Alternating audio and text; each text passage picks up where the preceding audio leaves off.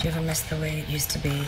No stress from work, no kids fighting, sex anytime we wanted it. Mm. All the money in that bag.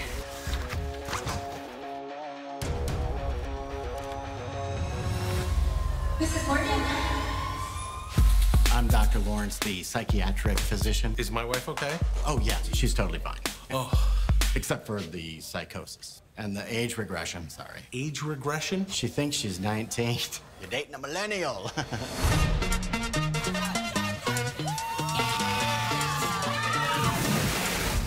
Why all the yoga pants? I know this is super weird for you, but just try to, you know, embrace your age.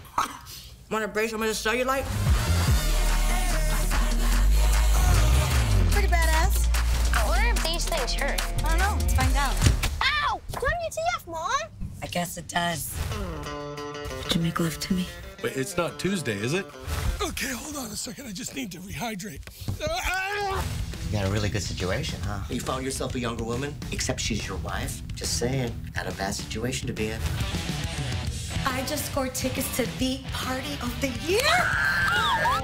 Could you have made that flirting a little less obvious? For a guy, that's like an invitation for him to send you a picture of his.